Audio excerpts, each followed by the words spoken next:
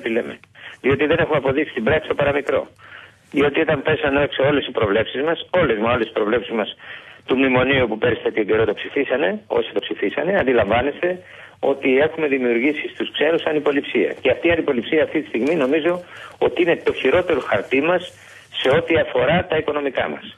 Ε, ο κύριος Λαφαζάνης μας είπε προηγουμένως ότι μας χρωστάνε αρκετά και οι ξένοι και ιδιαίτερα η Γερμανία από διάφορα. Εννοεί βέβαια δύο πράγματα ο κύριος Λαφαζάνη, με συγχωρείτε που σα διέκοψα. Παρακαλώ. Εννοεί βέβαια τα αποθέματα του χρυσού της τραπέζης Ελλάδος που πήγαν οι Γερμανοί κατά την κατοχή και τις αποζημιώσεις όταν έχουν βγει αποφάσεις όχι ελληνικών δικαστηρίων, διότι δυστυχώς είδατε κι εσείς και το ξέρετε καλύτερα, το έχετε συζητήσει στην εκπομπή σας ότι αναγκαθήκαν να πάνε στην Ιταλία για να πάρουν δικαστική απόφαση για να πάει στη Χάγη το θέμα των ελληνικών αποζημιώσεων από τους Γερμανούς.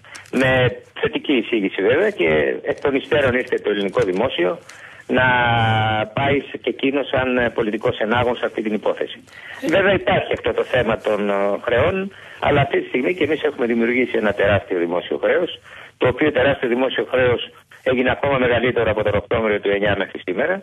Εγώ κακίζω την κυβέρνηση ότι τον ε, δεν πήρε, δηλαδή και θα, δεν θα κουραστώ να το επαναλαμβάνω, ότι τα χρήματα που της δόθησαν τον Ιανουάριο του 2010 με τα spread στι 200 μονάδες,